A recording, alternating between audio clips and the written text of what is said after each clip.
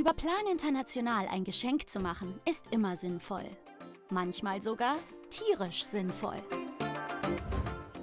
Ziegen, Hühner, Lamas oder Bienen landen in Deutschland eher selten auf dem Gabentisch. Doch genau solche lebenden Geschenke bieten Kindern und Familien in den Plan-Projektländern eine neue Perspektive.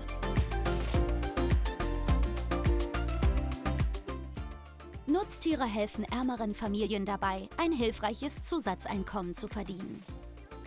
Die Familie von Monika in Sambia zum Beispiel hat drei Ziegen geschenkt bekommen. Schnell wurden dann aus drei Ziegen 26. Aus der Ziegenmilch kann die Familie von Monika Käse herstellen. Der Käse sowie die Milch werden dann auf dem Markt verkauft. So sichert sich die Familie ein dauerhaftes Einkommen. Zudem kann die Familie ein paar Tiere verkaufen und verdient so zusätzliches Geld, mit dem sie die Kinder zur Schule schicken kann. In Bolivien hat Maya zwei Lamas als Geschenk bekommen.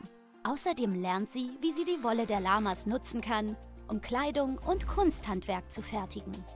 Dadurch hat sie die Chance auf einen sicheren Lebensunterhalt.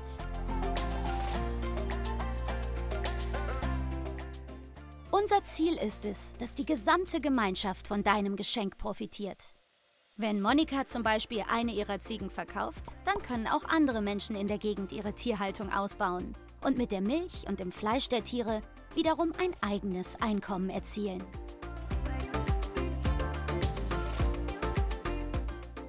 Jede Person, die ein Tier geschenkt bekommt, wird auch zu den Haltungsbedingungen geschult. Außerdem achten wir darauf, dass die Tiere tierärztlich und richtig versorgt werden.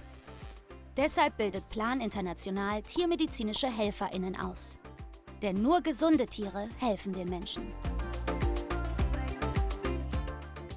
Das Schenken von Tieren hat für viele in unseren Projektgebieten eine große Bedeutung. Denn eigene Tiere geben Hoffnung, die bleibt. Jeden Tag neu. Verschenke jetzt ein Stück Hoffnung.